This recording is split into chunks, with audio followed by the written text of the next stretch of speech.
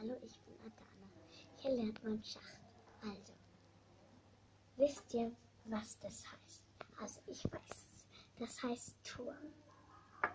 Und es gibt zwei Türme. Mhm. Und das heißt Pferd. Das kann immer in L gehen. Mhm. Und das ist der König. Der kann in alle Richtungen gehen, nur dass er nicht wie ein L sein kann.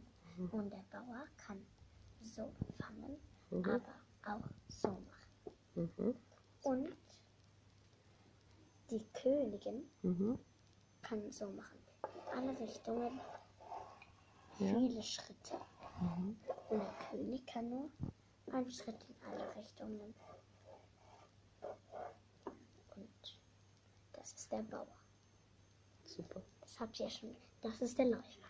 Mhm. Und der Läufer kann in einer Richtung, so, wenn zum Beispiel der Schwarze hier wäre, Mhm. konnte er den fangen.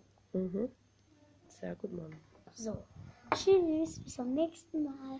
Und ihr könnt auch gerne den Video schauen, so ein Adana Adora Community.